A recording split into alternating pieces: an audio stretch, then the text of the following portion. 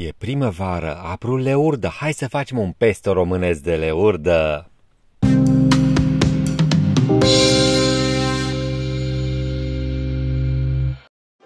Leurda este starul primăverii, are un gust de usturoi și puțin de ceapă verde și îl găsiți cam peste tot. Eu l-am luat, de exemplu, de la supermarket. Am luat o legătură de leurdă pe care o vom face pesto, deoarece de ce să nu facem pesto din ce avem și noi? Și toate ingredientele care le-am folosit sunt românești, ca să spun așa.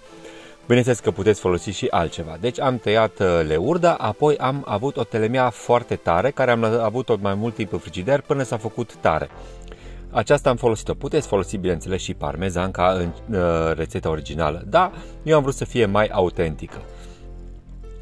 Apoi, uh, după ce am pus această brânză, am venit cu niște nuci. Am pus miez de nucă, iarăși uh, nucă de-a noastră, românească, nu am pus uh, semințe de pin, cum se pune de obicei în pesto, dar nicio problemă, pentru că toate aromele astea cumva se armonizează.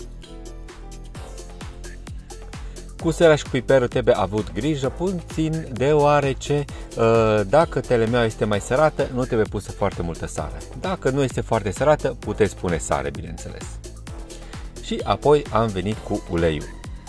La început am pus mai puțin până când am uh, reușit să obțin o pastă mai gros- grosieră și apoi bineînțeles că putem adăuga mai mult ulei. Este un ulei de floarea soarelui, nu am pus ulei de măsline, deoarece iarăși am vrut să fie așa cum uh, este în România cu ingredientele noastre.